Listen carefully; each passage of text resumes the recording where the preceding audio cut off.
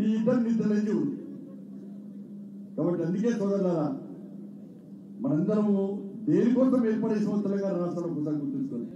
నీళ్ళు నిధులు నియామకాలు నీళ్ళు ఏది పోతున్నాయి ఇదే కరీంనగర్ ఉమ్మడి జిల్లా ఆదిలాబాద్ ఉమ్మడి జిల్లాకు సంబంధించి ఇలా ప్రాణహిత ప్రాజెక్టు ఆ రోజు ప్రారంభిస్తే ఇవాళ ముప్పై వేల కోట్లతో ప్రాణహిత ప్రాజెక్ట్ ప్రారంభించాలనుకుంటే స్టార్ట్ చేస్తే ఈ రాష్ట్ర ముఖ్యమంత్రి రీడిజైన్ పేరుతో లక్ష కోట్ల ప్రాజెక్ట్గా మార్చారు.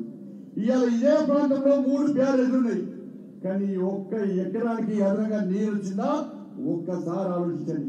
నిజంగా పాత ప్రాణహిత ప్రాజెక్ట్ నిజంగా ప్రారంభమైతే ఈ ప్రాంతంలో ఈ ఉమ్మడి జిల్లాలో ఇలా వేలాది ఎకరాల భూములకు ఎలా లక్షలాది ఎకరాల భూములకు ఎలా నీరు వస్తుండే వందలాది గ్రామాలు సస్యశ్యామలం అవుతుండే.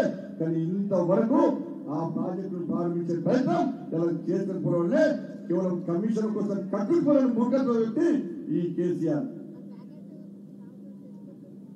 కాబట్టి ప్రాజెక్టుల పేరు తెలియాలా రాష్ట్ర ప్రజలు మోసం ఇస్తున్న వ్యక్తి ఎలా? లక్ష కోట్ల ప్రాజెక్ట్ వెళ్తే ఆ నీళ్ళని కేసీఆర్ ఫామ్ అవుతుంది తప్ప ఈ ప్రాంతానికి ఒక్క ఎకరా కూడా నీళ్ళు వస్తున్న విషయాన్ని ఈ ప్రాంతం ప్రజలు గుర్తించుకోవాల్సిన అవసరం ఉంది. ఇలా తుమ్మిడి ఎంపీ చేసుకోవాలా తుమ్మిడి ఎంపీ దగ్గర ఇలా బ్యారేజ్ కడతానండి బ్యారేజ్ కడతా అని చెప్పి ఇంతవరకు తట్ట మట్టి వెళ్ళారు కాలువల దగ్గర ఏమి ఉన్నాయి? ఇలా ఎందుకు వెళ్తారంటే తుమ్మిరెడ్డి బ్యారేజ్ కడితే నేను కమిషన్ రావు. కాంగ్రెస్ వాళ్ళు కట్టిన కాలువల్లో గడ్డి మొలిసింది వాళ్ళు.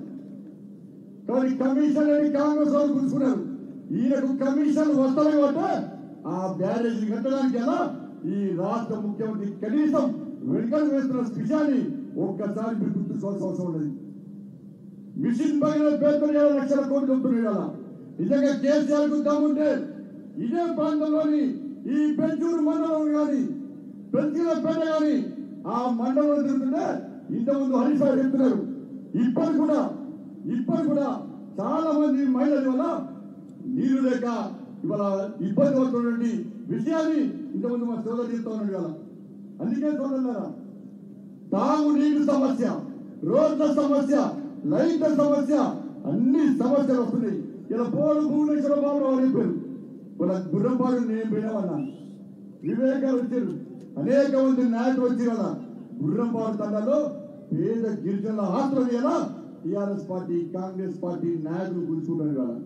హైకోర్టు ఉత్తర్వులు ఇచ్చింది కదా ఈ ప్రాపర్టీ అంతా ఇలా గిరిజనులు చెప్పినప్పుడు కూడా అక్కడ ఉన్నటువంటి కాంగ్రెస్ టిఆర్ఎస్ పార్టీ నాయకులు ఎలా పేద గిరిజనులు ఇబ్బంది పెట్టే ప్రయత్నం చేస్తే మేమందరం పోయి ఇలా గిరిజనులకు మద్దతు తెలిపే ప్రయత్నం చేస్తే మా మీద పోలీసులు లాఠీచార్జ్ చేస్తే ఇప్పుడు కూడా ఆ జిల్లా అధ్యక్షుడు ఇలా భాగ్యాన్ని గారు ఇప్పుడు కూడా జిల్లాలో ఇలా మీకోసం పోరాటం చేసే వ్యక్తి పార్టీ భారతీయ జనతా పార్టీ.